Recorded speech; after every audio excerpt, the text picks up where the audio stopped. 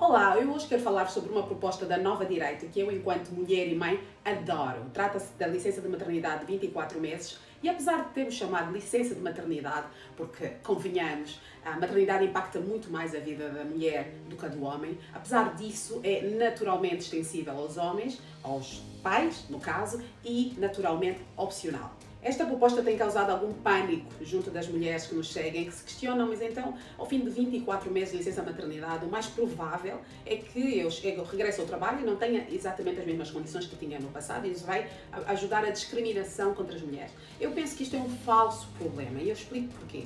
Que por um lado, vamos lá ver, os, os empresários sabem que as mulheres, quando após a maternidade e durante um período entre 18 e 24 meses, estão totalmente instáveis. Porque os miúdos vão a creche, porque os miúdos apanham doenças, porque é preciso ir à vacina, é preciso ir à consulta, é preciso amamentar. Então, na realidade, aquela funcionária já não está lá eh, todo o tempo, já não está lá a 100% durante aquele período. E então o que eles dizem é, se for um posto que é substituível, o que eu prefiro enquanto empresário é que ela saia, efetivamente vá gozar da sua maternidade, vá cuidar do seu filho e do lado da empresa tem estabilidade com uma funcionária de substituição durante aqueles 24 meses. Portanto, este é um falso problema.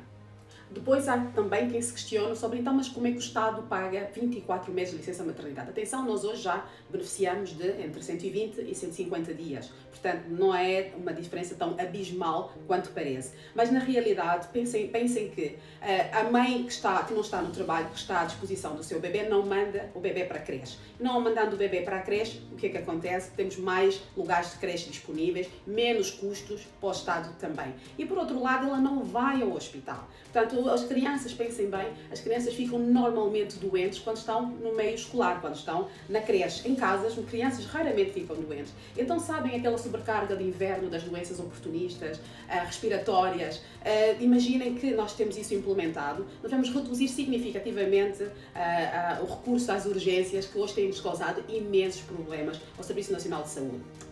Atenção, não é o único problema do, único, do Serviço Nacional de Saúde, mas realmente é isso que tem acontecido. Daí que é só vantagens, é vantagens para as famílias, é vantagem para as empresas e é vantagens para o Estado. Agora falemos nas mulheres e nos bebés. Para as mulheres é obviamente são vantagens, porque sabem aquilo da depressão pós-parto, isso existe realmente. É cansaço, é, é falta de horas de sono, é aquele, são aqueles nove meses a levar com um bebê que acaba por nos absorver toda a energia. As mulheres precisam efetivamente de descanso para voltar a si, para voltar ao que eram antes de serem mães. Para os bebés é carinho, é afeto, é crescerem no meio, aquele, naqueles dois anos fundamentais para a sua saúde mental, para a sua saúde física, receberem aquele afeto do, da mãe e do pai, da família, é toda a atenção, é evitar ficar doentes. Aquela teoria que muitas vezes se defendeu junto da classe médica de que as crianças deviam ficar doentes cedo que é para ganhar imunidades, está provado que isso é tudo falso. As crianças, quanto mais tarde ficarem doentes, mais tarde tomam medicamentos e, obviamente, isso tem naturalmente um impacto sobre a vida destas crianças no futuro.